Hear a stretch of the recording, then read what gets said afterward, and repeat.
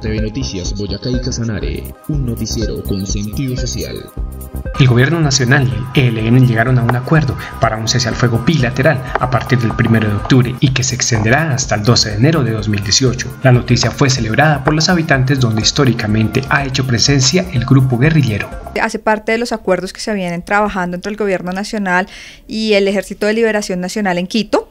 El 1 de octubre eh, iniciará eh, este cese al fuego que esperamos para el departamento de Boyacá permita tener tranquilidad en algunos lugares donde sigue existiendo presencia del ELN y por lo tanto la población va a vivir en un ambiente de mayor tranquilidad y convivencia si se cumplen este, este cese bilateral. Ellos tienen seis puntos en la agenda que están discutiendo, digamos que esto hace parte eh, del punto de acuerdos humanitarios, entonces espera que luego de esto podamos avanzar en procesos de desminado, reclutamiento forzado y otro tipo de temas que lleven a, una, a un proceso de reintegración a la vida civil de las personas que se encuentran militando en este momento en el Ejército de Liberación Nacional.